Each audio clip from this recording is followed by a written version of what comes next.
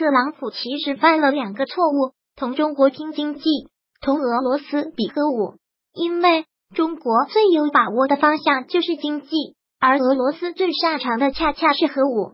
特朗普退出中导条约，正如外界普遍预测的那样，欧洲大地有可能再度被核阴霾笼罩。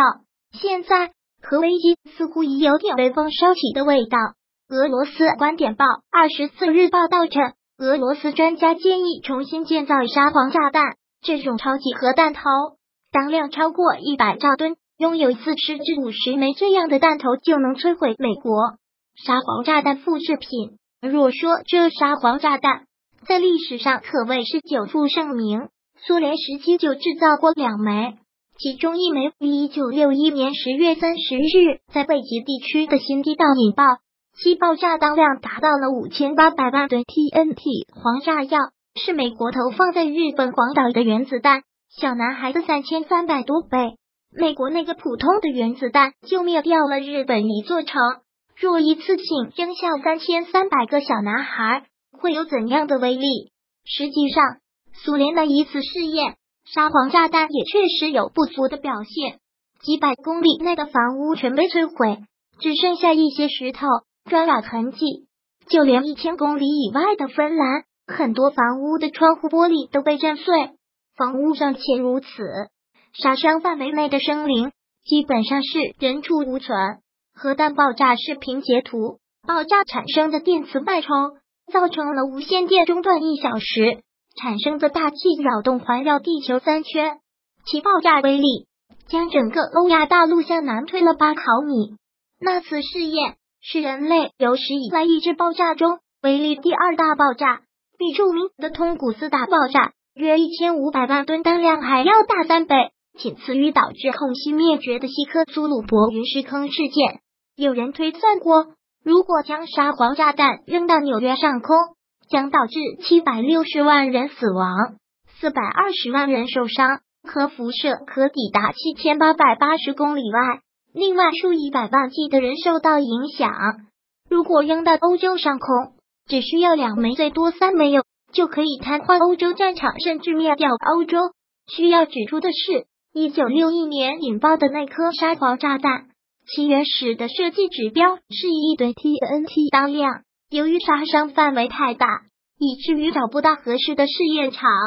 才不得不将指标减半，只有一半力量，那它就有如此大的威力。如果搞成一亿吨甚至更大当量，会有怎样的毁灭效果？这个不难想象。俄罗斯继承了苏联的衣钵，重新制造这种核弹技术根本不是问题。就看俄罗斯愿不愿意将死神复活。所以，欧洲如果看到俄罗斯有这种意向，应该会感到背脊发凉。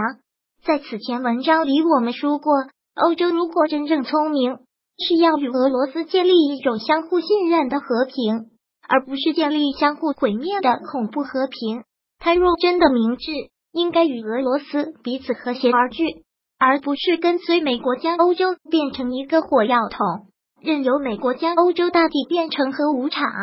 万一真的有事，欧洲毁灭，而美国本土却毫发无伤，亏的人还是欧洲自己。就好比一个人大老远的跑来挑唆两个邻居打架，结果这两个邻居全打死了，而那个挑唆的人却没有任何损伤，那两家人不是很蠢吗？俄伊斯坎德尔 M 双发骑士视频截图，这虽然是美俄欧的故事。但其实也给我们中国带来了一些思考：一是不要低估特朗普什么都敢干的狠劲。此前很多专家学者预测的特朗普不敢干的事情，后来特朗普基本上都干了，连退出中导条约这种事情他都干得出来。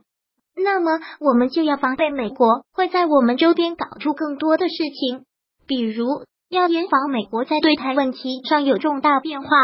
比如，美国宣布不再坚持一个中国这个基本政策，大搞两国论一类的。如果出现这情况，中美关系将会有重大变化，这是我们一定要想到并做好准备的。二是不要对美国有任何幻想，苏联就是吃了幻想西方的亏，他曾天真的以为跟随西方走就没事了，结果你看看现在的俄罗斯。苏联虽然将它改造成了西方模式，但依旧被美国步步围杀。三是要强大我们的核武库，没有实力的愤怒毫无意义。俄罗斯的 GDP 只相当于广东一个省，但它依旧能在国际上呼风唤雨，很大程度就因为它强大的核武能力。如果再复活沙皇炸弹，那么不论是欧洲还是美国，都将更加忌惮。我们也一样，一定要大大发展自己的核武库，最好能搞出同沙皇炸弹一样的，甚至比它还强的核武。既然这个世界本来就是建立在大国和恐怖下的和平，那么谁更有实力，谁就更有和平。如果喜欢本视频，请分享并订阅本频道。别忘了按赞哦！